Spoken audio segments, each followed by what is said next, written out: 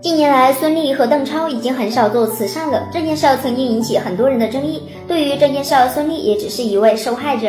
当时孙俪还在拍《玉观音》的时候，通过电视了解到一位学生艰难的求学过程，于是就决定给这个学生资助。他一直资助到这位学生考上大学，都还没有停止。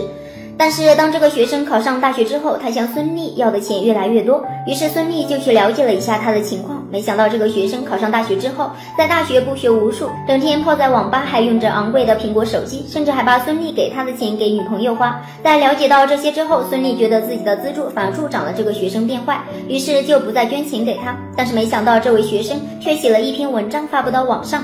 文章中对孙俪各种指责，不过孙俪已经懒得理会这些了，估计心都寒透了。其实对于孙俪这样的大明星来说，赚钱确实挺多的，就是给别人花一点，对自己的生活影响也不大。但是偏偏有人花了别人的钱，不仅不懂得感恩，还觉得一切都理所当然，真是不知好歹。